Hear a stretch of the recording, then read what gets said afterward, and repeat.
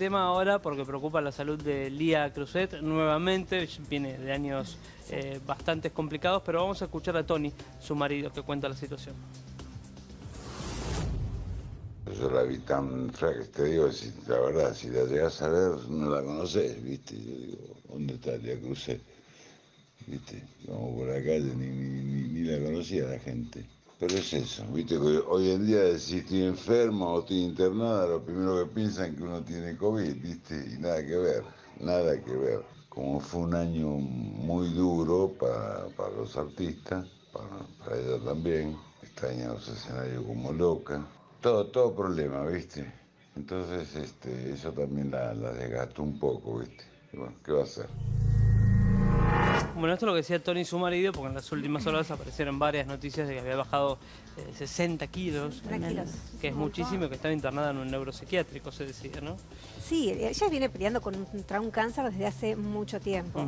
Eh, pero supuestamente lo había superado, ya estaba mejor, pero lo que llamó la atención es justamente esto, que bajara de peso tan abruptamente, ahí es donde empezaron a hacerle los estudios, pero cuando la lleva Tony a hacer los estudios, el centro médico decide dejarla internada.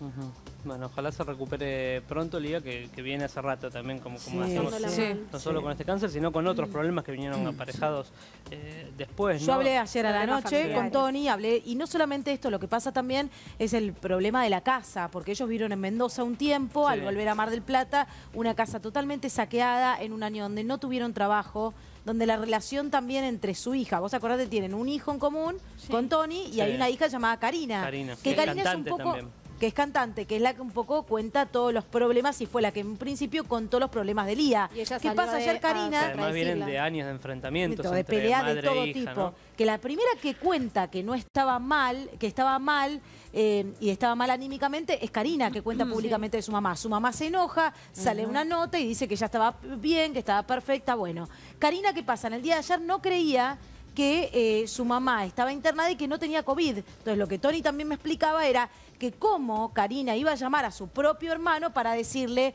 que le cuente la verdad si estaba entubada o no. Entonces Tony dice, "Ah, imagínate, ¿qué le voy a mostrar una foto? No está entubada, están buscándole el por qué los 60 kilos que Claro. perdió. Me dice, ¿la ves? Y bueno, lo que dice en el audio, no la reconoces prácticamente. La gente no la reconoce en la calle, Ángel.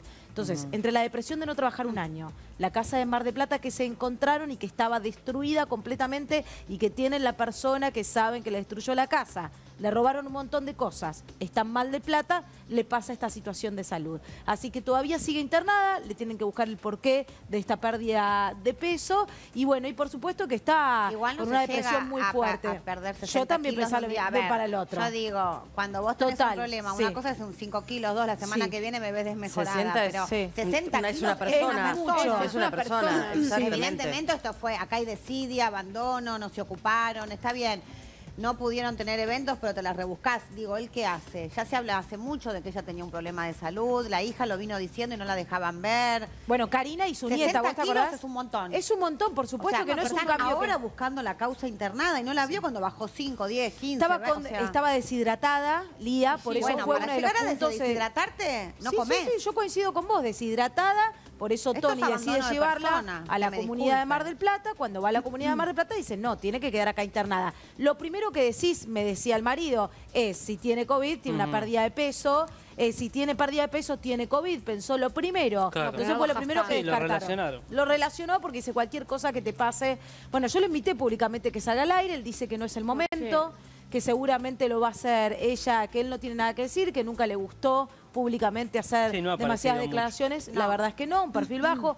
Muy amablemente me atendió ayer, pasada las 11 de la noche. Me dijo, estoy agotado, Siempre estoy es un misterio cansado. igual la, la vida de Lía Sí, es ¿no? medio Nunca raro todo. podemos Siempre sí, es- en, la época, en la época en que su hija... Yo lo hablé mucho con, con Gladys, la bomba Sí. tucumana, Sí, que, que claro. es muy eh, amiga eh, de Lía. Muchas veces fuera de cámara le preguntaba cómo anda Lía, no sé qué, y nunca podía a veces... Me dice, sí, hablé, hablé poquito, Sí, hablé con Tony, Es pero medio raro todo. nunca había mucha información Porque de por qué Lía, desapareció también. claro, ¿no?